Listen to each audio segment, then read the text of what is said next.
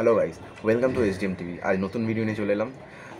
তো বেসিক্যালি কিছুদিন আগে ভিডিও গেছে, তো আজকে একটা ভিডিও এলো। আজ কোনো ব্লগ না, আজকে ওনাকে একটা নতুন ভিডিও যেটা নিয়ে আমি নানা রকম তথ্য শেয়ার করব। ফার্স্ট তথ্য হচ্ছে, গতকাল রাতে মিলকা সিং আমাদের ছেড়ে চলে গেছেন। খুবই একটা ব্যাড নিউজ আমাদের জন্য।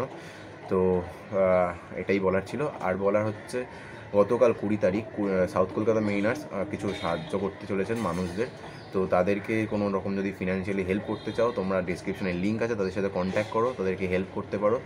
এছাড়াও খুব ভালো কাজ করছে তারা।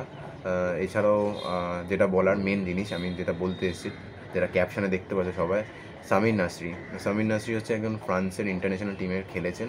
এছাড়া খেলেছে হচ্ছে ওয়েস্টম এছাড়া খেলেছে সেভিয়া এছাড়া খেলেছে হচ্ছে ম্যানচেস্টার সিটি ম্যানচেস্টার সিটি অনেক বছর খেলেছে সে, গত ছ থেকে সাত বছর সে ম্যানচেস্টার সিটিতেই খেলেছে। তো তো বুঝতেই পারছ কোনো একটা বড় মাপের প্লেয়ার সে কেভিন ডিব্রনের সাথেও খেলেছে। তো, আশা করি যদি আগামী দিনে তাকে যদি আমরা সবুজ মেরুন জার্সিতে দেখতে পারি, খুবই একটা ভালো খবর আমাদের জন্য, খুবই একটা মানে ভালো জিনিস লাগবে আমাদের কাছে। তো এটাই বলার ছিল। আর আরেকটা বলার হচ্ছে, আশুতোষ মেহতা যে আগের দু হাজার কুড়ি সিজনে মোহনবাগানের উইনিং টিমে ছিল, তো সে হয়তো আবার ব্যাক করছে। কোনো রকম অফিসিয়াল কোনো সাইনিং আমরা দেখতে পাচ্ছি না বাট খুব জলদি সেটা হয়তো দেখা যাবে।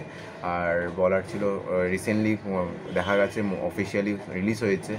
জয়েশ রানে কোমলকে এনে ছাড়া, ছেড়ে দিয়েছেন মোহনবাগান। তো এটাই বলার ছিল। আগামী দিনে হয়তো ভালো ভালো প্লেয়ার সাইনিং হচ্ছে, হবে। তো এইরকম সাইনিংয়ে জানার জন্য আমাদের চ্যানেলটাকে সাবস্ক্রাইব করে রাখো লাইক করো ফলো করো আমাদের পেজগুলোকে আমরা রেগুলার আপডেট দিই। ভিডিওটা ভালো লাগলে অবশ্যই লাইক করো।